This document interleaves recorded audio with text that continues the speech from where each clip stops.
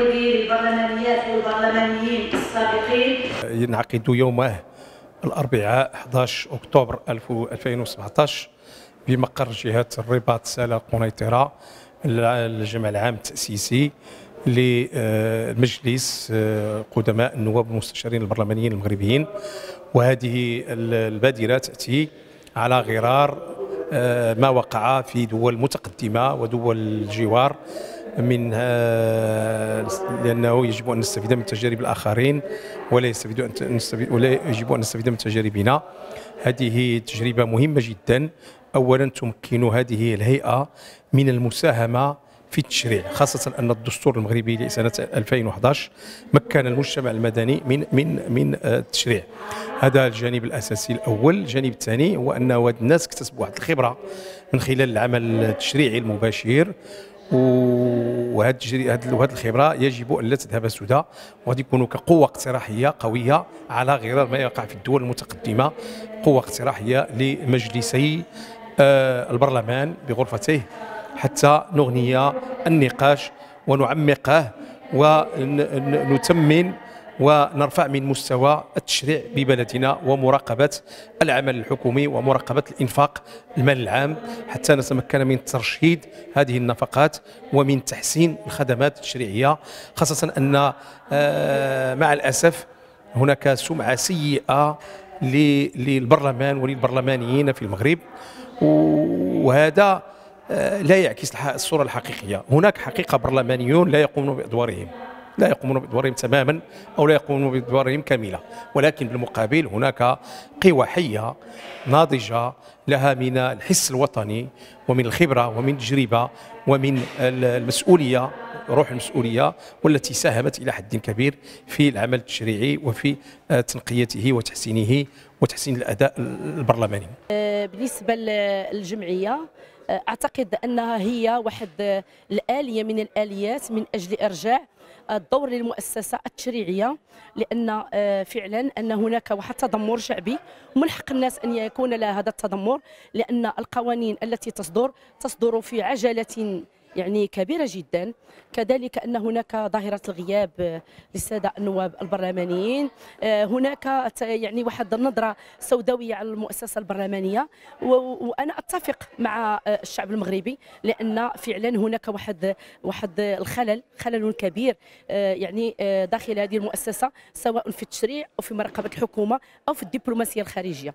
فإذا وهذا كل مجال يمكننا نديروا ليه موضوع خاص من أجل الانتقاد ومن أجل تقويمه فإذا هذه الجمعية من فكرنا إحنا بدينا ثلاثة ديال النساء أعوذ بالله من قول سنة فتيحة البقالي والأخت لبنى محير والأخت رشيدة الطاهري. فإذا فكرنا لخلق واحد النواة برلمانية من أجل تبادل الآراء والتفكير من أجل تطوير العمل التشريعي ومن أجل الدفاع عن يعني القوانين التي تصدر.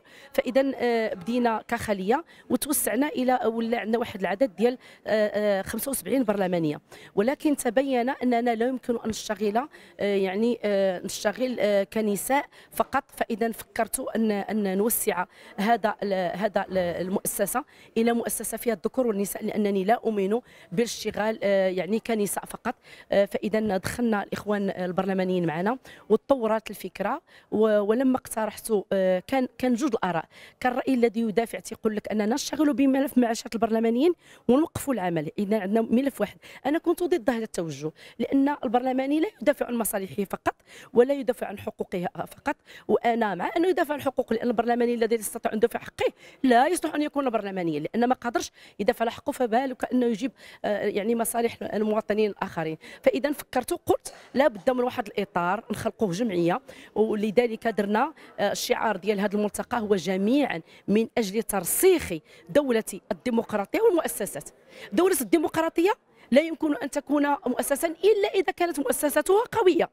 فاذا كان هذا هو المنطلق. وفعلا نجحنا أن كيف ما كتشوفوا الحضور الإيجابي جدا للسادة النواب والنائبات البرلمانيين وأن من بين الأهداف ديال ديال هذه الجمعية هو أننا كاين لجان خمس لجان.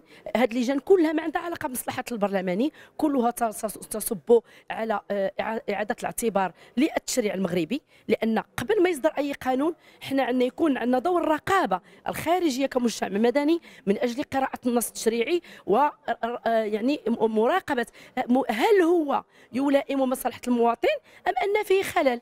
ونلاحظ ذلك بأكثر قوة في قانون الماليه بحيث يتم إنزال كل الاجراءات المالية التعسفيه التي تمس بفئه بفئة الفقراء والطبقة المتوسطة. ماذا نريد؟ هل نريد سحق هذه الفئتين؟